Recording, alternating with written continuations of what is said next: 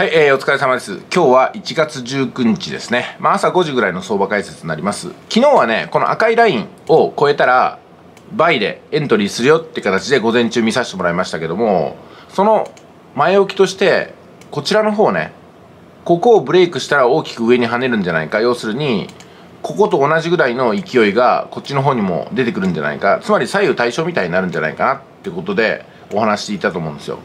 で、時間見てみますとねやっぱりここグーンと上がったじゃないですか。で色めき立ったんですよね。で私もここでエントリーしましたんで110745これはいけたなと思ったんですよ。でロスカットラインを設けて take profit ラインをやっぱり115の430あたりに設けてですね。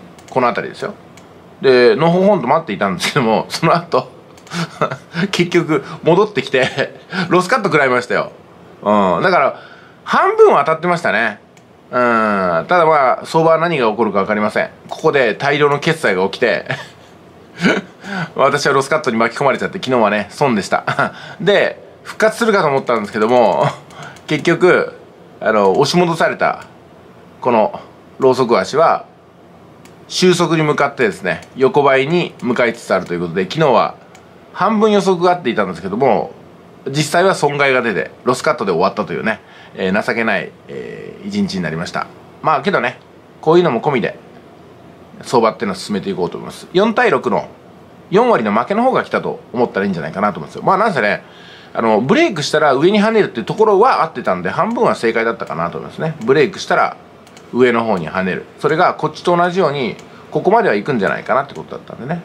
でこの後なんですけどもあの横ばいからブレイクに向かった次はまあ必ずここまでね巻き戻してくれるんじゃないかなと。思います。ああ喉がちょっと痛くなりましたね。ちょっと喋りすぎました。えっと昨日はやられました。でも判断が間違ったとは思ってません。判断は正しかったんだけども結果利益にはならなかった。そういうふうに捉えていこうかと思います。ただ結果的には昨日はロスカットでございました。残念。じゃあ今日はね先ほどお話したように横ばいがブレイクに入ったら倍の方に仕掛けていってえー、115円の430まで取っていこうかと思います。なんかここに来てね110円から115円の間で釣り合ってきたのかなっていう気がしますね。一時期は120円まで本当にノンストップで行くのかなと。市場介入でもない限り行くのかなと思ったんですけどもまあその懸念はなくなったみたいです、えー、まあ安定は取り戻したんで悪い円安は一旦落ち着いたというふうに判断してますけども皆さんいかがお考えでしょうか？それでは本日は以上です。